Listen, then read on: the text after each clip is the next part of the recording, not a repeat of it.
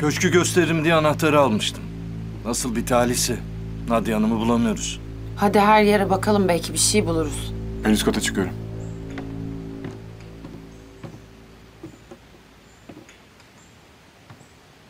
Ev dağılmamış her şey yerli yerinde. Eve zorla girilmemiş demek mi oluyor? Evet kapıda da zorlama yoktu.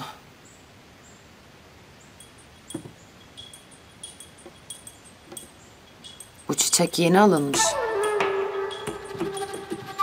Üst katta bir şey yok. O sahte avukat getirmişti galiba. Dün telefonda Nadia söylemişti. Adam çok kibar falan demişti.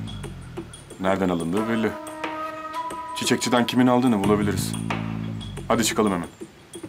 Ben ne yapayım? Sen yine bak etrafa. Bir şey bulursan bize haber tamam. veririz.